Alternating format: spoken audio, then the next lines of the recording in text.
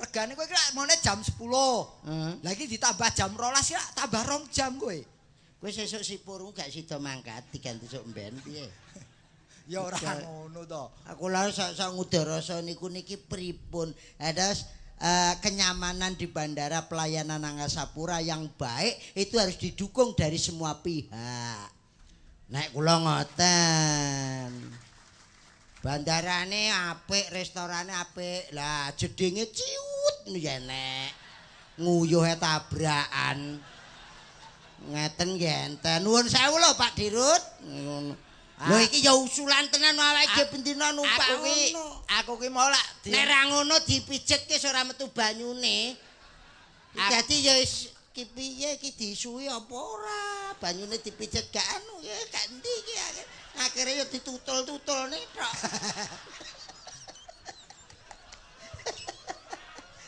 Jare malah nggawa obat sampean. Nggih namung kula obat tabit ketok niku. Nggih. Aku ki ya yang lebih penting lagi zaman jangan sampai kejadian yang lalu terulang lagi Apa? hingga hingga membuat jerah penumpang. Apa? Eh aku ki jane jatahe ya motor mabur. Terus Aku terima sipur. sipur 8 kuwi ya ben dibedil kowe. Ku lho sepur. Heeh. Kuwi sebabnya apa kok aku ra gelem numpak motor mabur? Sebabe Mergo nonton TV wingi. apa? Mung kalah kuwi karo nonton wingi. Allahu Akbar, Allahu Akbar. Lah aku dadi keweden nganti saiki. Goblokmu mati iki sak nggon-nggon kok. Ora usah numpak pesawat ndengi tangga kowe tenguk-tenguk ning arep warung bis mlebu entek sak warunge kok. Mati iki urusane Gusti Allah kok dadak. Lah kowe ya Sing salahe sing gawe jeneng ngapa? pesawat jenenge Adam. Lah ngapa to? Lah mi berhawa adus ning laut lalu Adam mudhun. Gak balik. Hubungane apa? Saya lah Hawa pas adus Adam ning dhuwur. Halo Adam, eh Hawa mudhun. Terus ora bali. Gak balik. Enek pesawat sing numpak pesawat bablas sisan sak sak taziah sak ngubure. Sop apa? Lion Air Solo Piye Lah, pesawat kok anjok ning kuburan gak ya sisan to kuwi. Ngono saine. Enek sing pesawat ra nganggo rem. Ya ora ono. no. Mandalang nabrak omah pira kae. Dadi saiki iki wis Golek ana sing pesawat ora bayar ono ora? pesawat embere ceblok ya enek. Eh kuwi? Tetel ditemu wong ndi kae lho. Kae ora ember. Ono pesawat kok nyangking ember ki lho. Hercules sih malah trocoh goblok men kursi enek kok. Aku numpak pesawat kok trocoh kabeh ki piye aku. Delalah zaman semono iki karo Pak Ian Santoso. Heeh, karo Pak Alin Mansuri, Man- Ali Mansiri karo Pak Hanafi. Nite Mulih ujung pandang. Lah bar trocoh tepi. Kenapa Pak Kirun ke depan, belakang trocoh Pak aku. Lah guyu ki. ning ngarep ki aman ora ketrocoan. Jere sapa malah plepeken kok. Ngono. Ning nggih nuwun sewu, selangkah lebih maju nggih bocange. Inggih. Nah aku upama kula ngoten nen angkasa pura ora pengen dadi apa-apa. Ning Angsapura 2 kepengin dadi napa? Ah, cukup ten kiwa tengen mriki mawon ngenteni panene sawu kecik niki mawon ra cuk. Ini ora ketok rapi. Rapi, indah tenan kok. Ah, saestu. Iki apa ya tukul buah iki? Siapa? Sawu kecik iki. Lah kowe gantungan ning kono wis persis sawu ta? Kowe kok jerar mateni aku to kowe? Lah wong sawu kecik mah ya mesti metu wae to reng kok. Kula terkesan nek ning bandara kamar mandine ciut no jan kekelen tenan. Nongkronge kaya wong dihukum. Kamar mandi kok iso wis kebelet kur sakmene iki. sak. Ngono kok ya dipraktekke to. Ngono ndelalah petuk wong Sunda, ndodok. Wong Bandung. Ah piye? Atos, aku yang jawab empuk, aku yang ngono. Wong empuk, kono bolak-balik atos, empuk, aku ngono. Kowe jane iso Sunda apa ora to? Apa kuwi? Atos iki sudah. Lah sing ngerti sapa? Kene metune empuk tekone atos. Ngono ya, empuk aku ya. Mulai aja sulaya kabeh ki ora ngerti wong. Angel kok, kaya ngono. Ya Basa sing angel ki ana lho.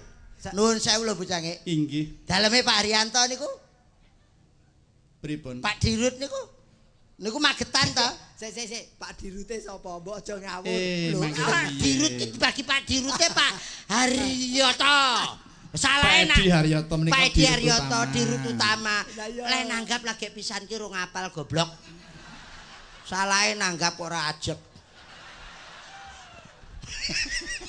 Kok sik ta wong kowe nyebut jeneng angel kok nyalahke wong nanggap ki lho. Lah angkasa pura wayangan ki apa upil no. Til ngono kok. Ngaten Mas Haji Kira. Nggih. Dirutipun menika penanpun Bapak Edi Haryo- Haryoto. Lah mila Edi. Direktur Keuangan Romo Tommy Sutomo. Tommy Sutomo. Direktur personalnya Ibu Endang Dwi Suryani. Nih. Kepala cabang utama menika Bapak Kepala, Haryanto. kepala cabang Magetan. Kuwi basane angel dhewe. Kok sik ta.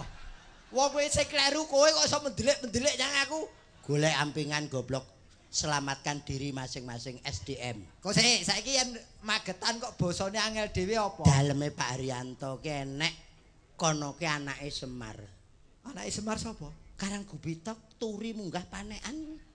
Oh Kuwi anake Semar. Eh lae lae kono ngono. Oh logate ngono. Logate jar omong saiki gek piye ta anu piye ta mbok eh lae lae. Eh lae lae. Kono ki tiga rendeng mbet.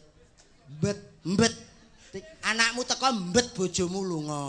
Bojomu lunga mbet pakmu teko. Pakmu teko mbet anakmu nusul. Dadi mbet ae. Lah aku medion Pak Rianto, Magetan pura cedak. Lagi Ah, tonggo. Kamu kamu sih mboten enten. Wong ditekoni wis madang gung ngegong kok. Loh, jenengan kedah ngertos. Nggih. Tiang sak Medion niku seniman kabeh. Mula ridangu wis dahar gung. Gung, gawa gong. Gung. Re, rene to, kokek to kuwi Pak Rianto. Kokek. kuwi maget. Magetan Medion padha santi kurang ngono branggang ae. Mbesanu. Kowe kok iso ngerti ya? Tonggo Kowe tonggo. kowe Madiun, Pak Arianto, Magetan, Tonggo. Dadi yen Tonggo ki engko kowe ra sangoni ra masalah ya, Mas ya. Ya malah wong tanggane. Tanggane. Ya ora kok. iso petuk tangga ya malah nyangoni. Petuk tangga ra nyangoni wong medit no kowe. Ora utel nek ra nambahi. Kok Petuk tangga kok etok-etok raruh ki jenenge dudu tangga. Kok nesune karo aku tanggomu ki sapa? Lah kowe ngusulne ra dibayari ya. Ngono. Awake dhewe rasa jagane Pak Rianto. Lho, ngono. Lah jagake sapa? Ya Pak Edi to. Malah Pak Dirut. Eh, Pak Dirut no. Ya tak dukung. Lah mosok angkasa pura apike kaya ngene ro dagelan nelongso kaya ngene ra nambahi ora kabangeten kuwi. Lho, iki harus ditindaklanjuti lho. Wong Oh, ulang tahun kok. Ulang tahun ki Ulang- kudu dono rasa. Ah, Mosok mosok salah kere kere. Nek ra ngere ya ra entuk ki engko kok. Nuwun sewu lho Pak Tommy cepat disiapkan Mbak itu semuanya. Kowe kok kongkonan Pak Tommy yo. Dirut ke eh, dirut keuangan, dirut keuangan iku lah ya kudu saka Pak Edi ora saka kowe. Pak Edi sinten Mas Haryoto. Haryoto. Edi ki endah. Alah wong arep Edi ki.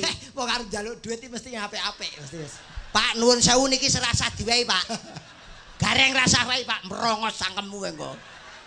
Edi Kendah Harki hari-hari tetap ada waktu untuk bagaimana kerjasama yang baik antara karyawan atasan manunggal jadi satu. Ya to. Yo, yo tuh setia dalam bekerja 24 jam hanya untuk kemajuan Angkasa Pura. Dua. To, to, artone kathah mulai tetep nambahi. Yen kuwi tak dukung. Nggon arto kathahmu tak dukung pokoke. Wis. Ngene lho kok yo yo awet urip kowe iki wis. Wong kok senengane nglulu. Ngenteni ngenteni panen sawu kecil. Awake dhewe metu. Pak mohon Pak Bandar yang jedinge cucu digedhekne Pak. Waduh. Ya nggawe WC dhewe. Ayo mula kowe ndedonga dengan umurnya yang 42 ini semoga angkasa pura semakin meningkatkan. Kok diwalik to? 24 kok 42. Wah, goblok neh iki. Piye? Jangger wis lunas kok kaya ngono. piye? 24 kok iso 42 lah kembang sakmono kae kok. Sing bener pira? 24. Lah wong wis kowe wis ngerti bener e kok dadak mbok eyel to. 42 iki Jepang mendarat goblok. Waduh. 45 kemerdekaan, 35 wedhus, 32 ki ula. Lah, wis. Ngono. Tekan nomor to, telu iki. likur kethek nek rolas ki jaran, nek selikur ki makya satu.